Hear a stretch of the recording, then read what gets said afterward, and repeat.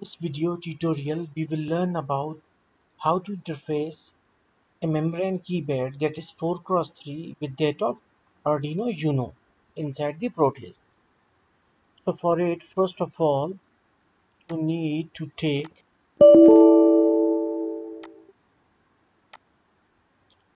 the Arduino Uno okay then Proteus is offering one keypad that is membrane keypad inside its library. So you can also place this keypad here. I have already selected these Arduino and keypad here but if you don't have these you must have to search like this Arduino. And here it is our Arduino and what about keypad? We have these four keypad in which we are using this interactive matrix keypad for phone. Okay now the pin number 1 of the keypad must be connected with that of the pin number 12 of Arduino. And these are the standards. You can change them but usually these are followed and pin number 3 must be connected with that of pin number 10 then this A pin must be connected with that of pin number 9 of Arduino that is digital pin number 9 and B pin with that of pin number 8 and C with 7 and D with pin number 6 respectively. Okay now after because matrix keypad or this membrane keypad is just an input device. And in order to show the output we need at least one output device. And here we are using the virtual terminal that is serial monitor you can say as an output device for the Arduino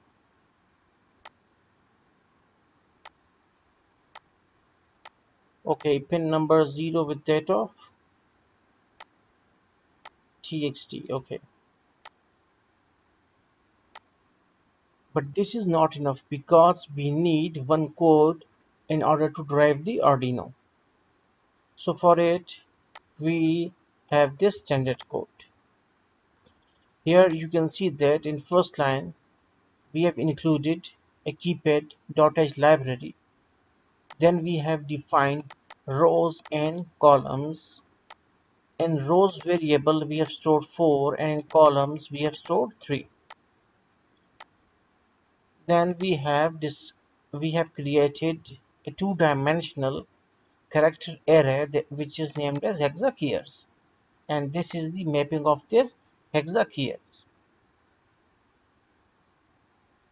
then in this line it is shown that all the row pins of the keypad are connected to the pin number 9, 8, 7 and 6 of the Arduino and columns pins are connected to the 12, 11 and 10. Then keypad this is actually a built-in function of the keypad.h library. So what it will do actually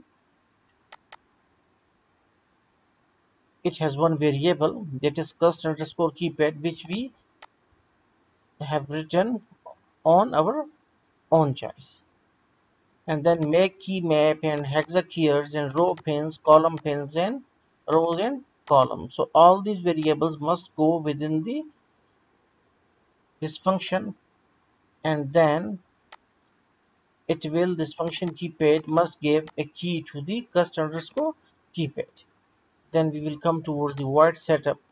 What it means that it will execute for just one time and serial dot begin 9600 just initialize the serial communication with the virtual terminal with a baud rate of 9600 then get key is a function which will be called every time when we press a key and when we press a key get key will give the you can say that the key to the cust underscore key variable which is of character data type. Then if cust key cust underscore key means that if the key is like you can say valid then we will got that key on the serial monitor or the virtual terminal that we have already added with that of Arduino so here this is our virtual terminal.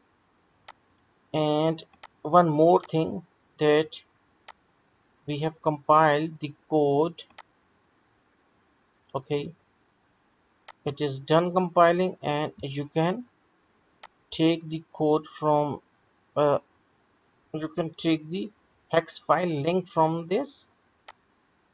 Yeah from this line. That is c from c2 dot hex okay c2 dot hex so okay just copy it. Uh, the, again again i'm uh, showing you. Okay this thing. Okay from c2 ino.hex then open the proteus file. Then paste the link here and press ok.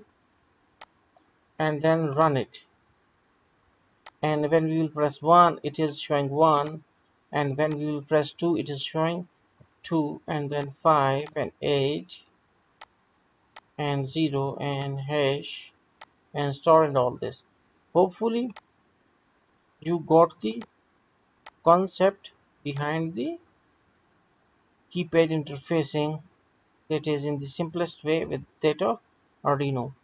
So I have given the link for uh, code you can make the circuit at your own and then you can put the link of the code within the Arduino and uh, then you can run the file. Thanks for watching